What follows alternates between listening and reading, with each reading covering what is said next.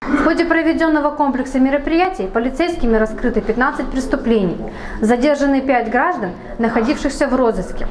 Выявлено около 1300 административных правонарушений. Все, молодые люди, выходим, пожалуйста. 32 любителя пятничного релакса были доставлены в вытрезвитель. За нарушение тишины штраф заплатят 25 ценителей ночных концертов. Судебными приставами взыскано более 89 тысяч рублей.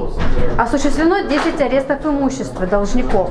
Арестовано 3 транспортных средства. Вынесено 143 ограничения на выезд должников за пределы Российской Федерации. Сотрудниками ГИБДД за нарушение правил дорожного движения к административной ответственности привлечено 512 граждан, из которых 23 за управление транспортным средством в состоянии алкогольного опьянения. В общественных местах полицейские раздавали листовки с профилактической информацией. Наклейте, пожалуйста,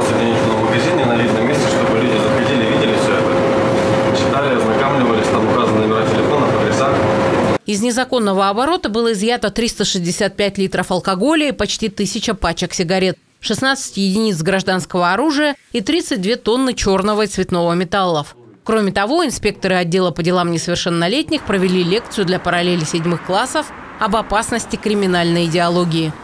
Юлия Алексеева, СТС Челябинск.